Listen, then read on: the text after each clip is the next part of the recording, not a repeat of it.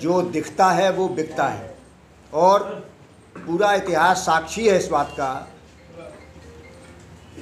देश नहीं, विश्व स्तर पर सभी देशों में, सभी घटनाओं में कि किसी भी बात को अगर गलत बात भी है, उसको लगातार प्रचारित करते रहना तो वो सही सिद्ध हो जाती है।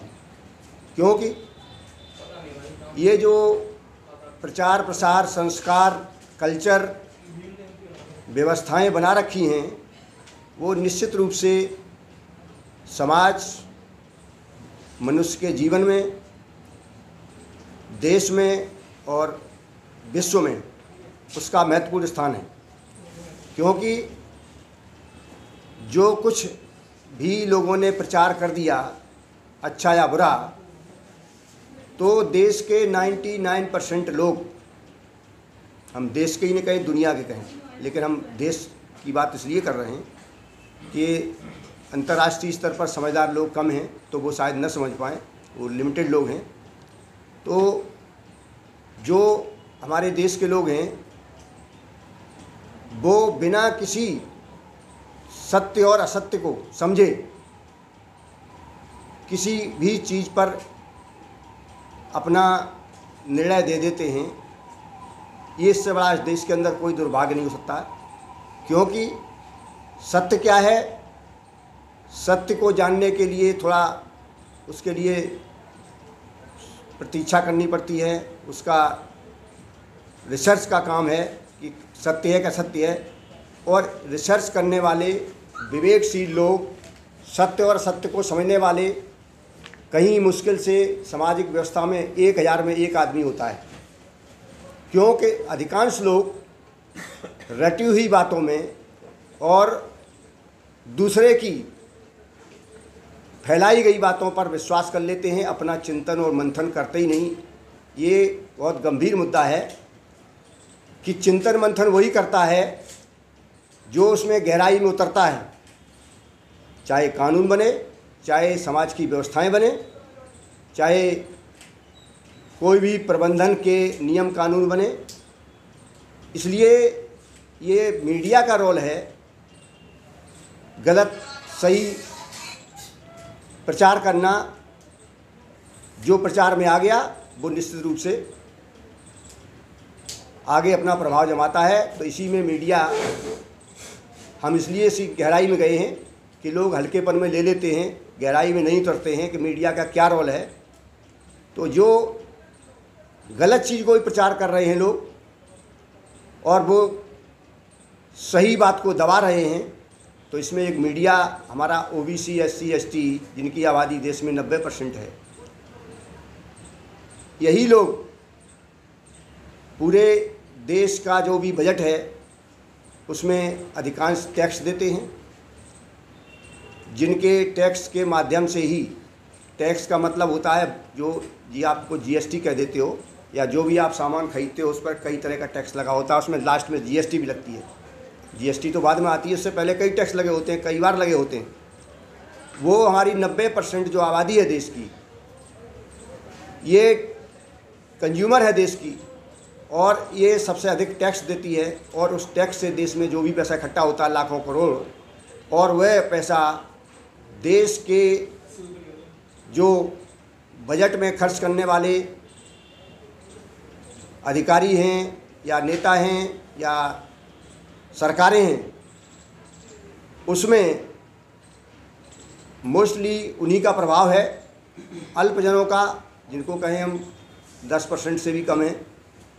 और उन्हीं के जितने मीडिया हैं, चाहे प्रिंट मीडिया हो, चाहे इलेक्ट्रॉनिक मीडिया हो, चाहे आपका किसी प्रकार का मीडिया, टीवी है, आपके सिनेमा हैं, ये 99 परसेंट उन्हीं का वर्चस्व है और वो प्रचार का गवर्नमेंट का बहुत बड़ा हिस्सा ले जाते हैं। गवर्नमेंट का जो हमारा बजट है, वो उन्हीं के खाते में 90 परसेंट जाता है, बल्कि 99 परसेंट जाता है और पैसा किसका है? बहुसंख्यक समाज O B C S C S T का। उसके मीडिया के जो मालिक हैं वो वही अधिकांश लोग हैं और उसमें जो मीडिया में, जो बहुसंख्यक मीडिया के लोग ही छोटे मोटे कर्मचारी कार्यकर्ता हैं, उनका शोषण भी होता है, उनकी मजबूरियों का फ़ायदा उठाया जाता है। वो देश में और जगह भी लागू है, इसके साथ साथ मीडिया में भी लागू है। मेहनत नब्बे परसेंट वाले करते हैं मीडिया में भी, मालिक हैं अल्पजन अल्पजन यानी जिनको सामान्य कह देते हैं।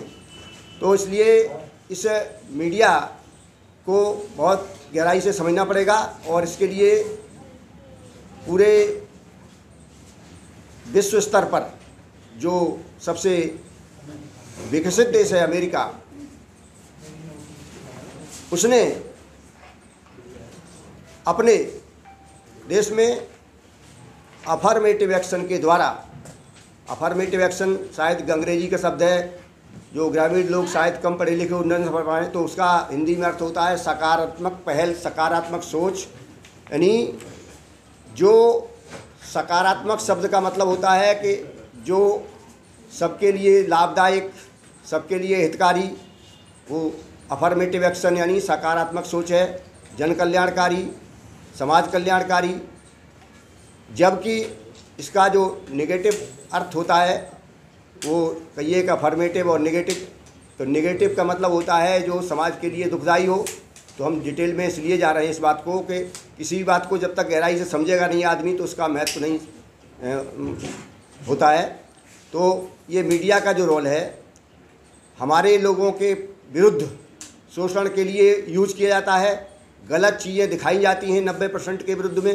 और नब्बे परसेंट वालों का ही बजट इनके घरों में करोड़ों अरबों की संख्या में जाता है, जो कहिए के सामान्य वर्ग के मीडिया के मालिक हैं अल्पसंख्यक वर्ग, और वो शोषण यहाँ भी बुरी तरह कर रहे हैं। अमेरिका में 1950 से 60 तक वहाँ लूथर किंग मार्टिन जूनियर ने 50 से 60 1950 और 60 तक एक बहुत बड़ा मूवमेंट खड़ा किया। अत्याचार, अन्याय और इससे मोनोपोली के विरुद्ध जो कुछ ही लोग थे, जिनके हाथ में अमेरिकन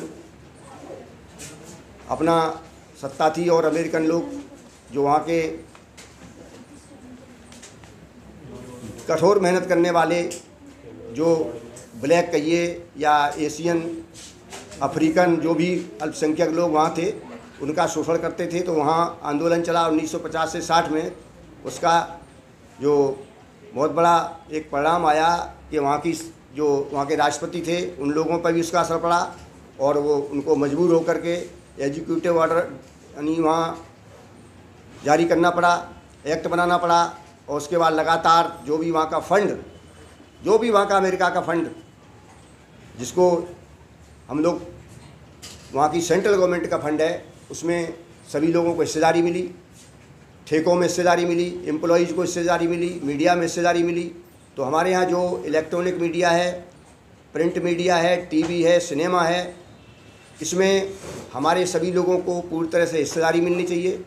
और जब तक पूरी हिस्सेदारी नहीं मिलेगी, तब तक कोई न्याय की बात नहीं कही जा सकती है। अब हमारे साथी लोग, अधिकांश लोग हम देखते हैं कि जहाँ भी जाते हैं तो वो सत्ता के लोगों को गालियाँ देते कह लीजिए, या विरोध करते हैं, या उनकी बुराई करते हैं, निंदा करते हैं, ये उस पर गहराई से नहीं उतरते हैं इस संसार में, चाहे साइंटिफिक बात हो कि बिना कारण के कोई भी कार्य नहीं होता इस संसार में।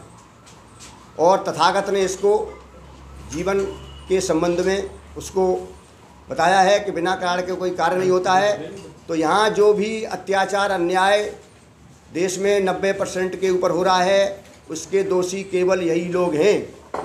ये बहुत कड़ी बात है, लेकिन सत्य बात है, उन्हीं लोगों को मैं कहना चाहता हूँ कि आप अपने में झांकिए। अपने में झांकिए, कोई बिंदु हो। हम लोग कई सालों से पूरा जीवन इसी में लगे हुए हैं और निष्कर्ष पर निकले, हमारे लोग अपने को सुधारने में समय नहीं लगाते हैं, दूसरों को कहिए कि दोषी बताते हैं। तो हम लोग पहले जो सच्चे और अच्छे लोग हैं, कम से कम तीन चार दिन बैठ के एक्शन प्लान बनाएँ कि हमको क्या करना है, किन गाइडलाइंस पे हमें काम करना है और जब हमारा जो एक्शन प्लान तैयार होगा, उसको लोग फॉलो करना पड़ेगा। जब एक्शन प्लान ही नहीं है तो फॉलो क्या करेंगे? और उस पर जब हम लोग पूरे देश के लोग काम करेंगे, जुड़ेंगे तो सारी समस्याओं का समाधान हो जाएगा।